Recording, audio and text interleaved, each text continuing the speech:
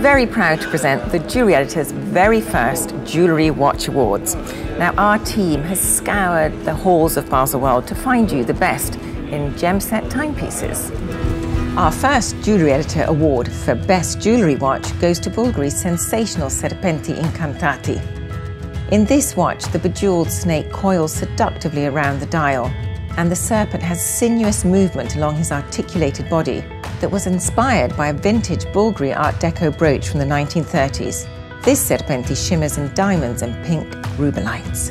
The Jewellery Award for Best Use of Colour in a Jewellery Watch goes to Dior's Grand Soir Kaleidiorscope. The designers at Dior imagined Mr. Christian Dior's haute couture embroideries through a kaleidoscope and transformed them into these dazzling and mesmerizing mosaic dials of mother of pearl, opal, lapis lazuli, turquoise, malachite, onyx, sugilite, and just about every precious colored gemstone under the sun, all framed by a bezel set with geometrically cut stones.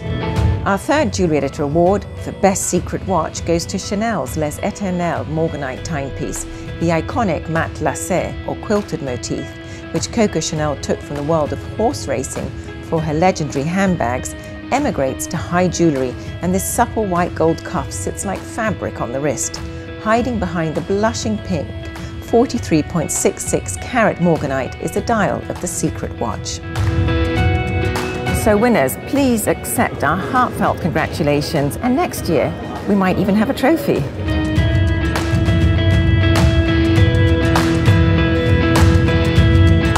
Want to know all that's happening in the world of jewellery and watches, visit my website, thejewelleryeditor.com.